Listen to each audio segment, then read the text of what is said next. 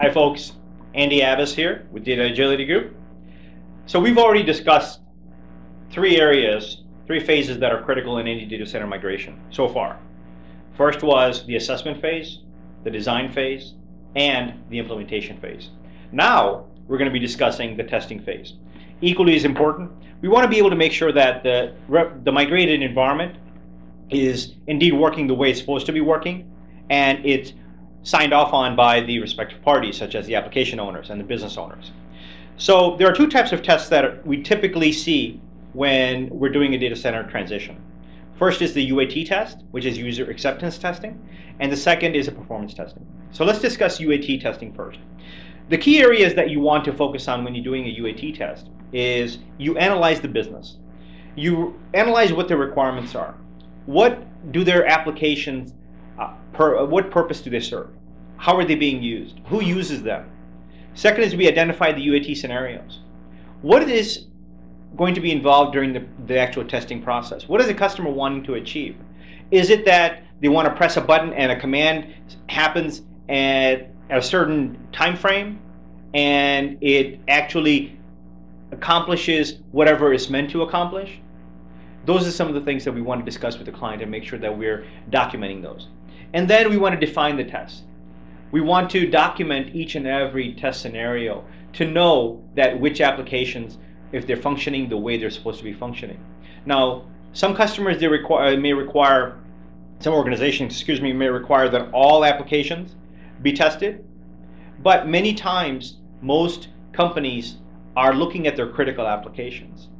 And if they are comfortable in knowing that those critical applications are functioning the way they're function that they're supposed to be, they're happy with the transition. Now they may find later on, as they're starting to use the other applications, that some applications may not be functioning as they're supposed to be, and if they're not critical, they'll address them as when they're starting to find out. But most of the times, the critical applications is what's typically looked at for the user acceptance testing.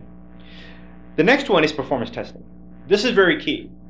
Most organizations, when they're moving their data center from the source to the target, they're looking for improved performance. Where the performance testing really plays a key role is to make sure that you're actually not underperformance to what you were at the source after the migration.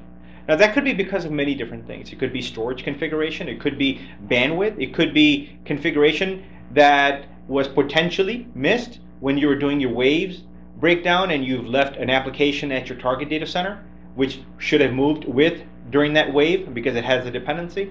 A lot of those things are the database servers in the same data center that they're supposed to be in. A lot of those things will be caught during the performance testing.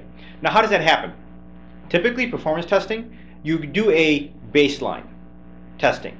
And the baseline testing will give you what the performance is for that particular application at the source data center. And again, same thing as UAT, you will actually be selecting a certain set of applications that you want to test. After you do the baseline, we do the migration. After the migration, we would do another benchmark test. We want to figure out that the performance that you were seeing at the source are indeed the same at the target. So in that scenario, it allows you to know that you're in a better state, if not the same as what you were at the source. Now, most companies typically always have some level of testing done, either UAT or performance. They may not formally classify it as such. So you may not actually say that it's a performance test, but then they start complaining, well, my application is responding slower than what it should be. What that means is you need to start investigating what some of the issues could potentially be. Now, if you had actually done a baseline testing before, you can actually test that quite a bit more effectively because you have a you have data from how your environment looked like from day one versus your target environment.